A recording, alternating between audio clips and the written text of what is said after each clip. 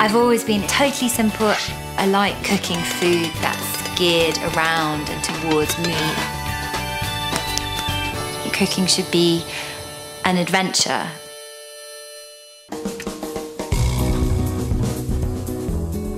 You've got your, got your basic formula, thick, glossy, awful, embarrassing, super simple host. It's almost quite ironic because I don't really know what I'm doing and I'm showing off a bit. It, it becomes, rather than being something sweet, it's something slightly dark.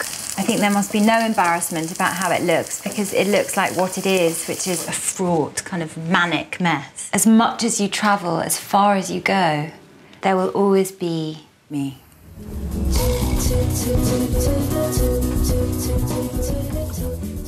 Start with some butter.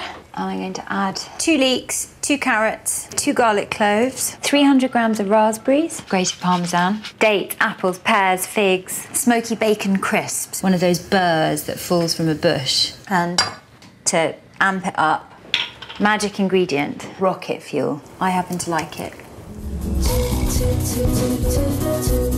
So there is one more ingredient that I've yet to mention. With that in mind, I shall now have to show you my perfect pink orbs. And because you're a loser, it's gonna get you going. Whew.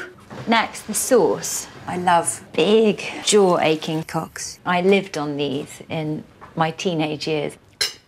Delicious. So the good news is you get to tickle my tiny, milky trout. I think people get frightened by the slightly grizzled look of it. I like to put dog food in mine to make it that bit stickier. Ooh, that would really make me feel like I'd come.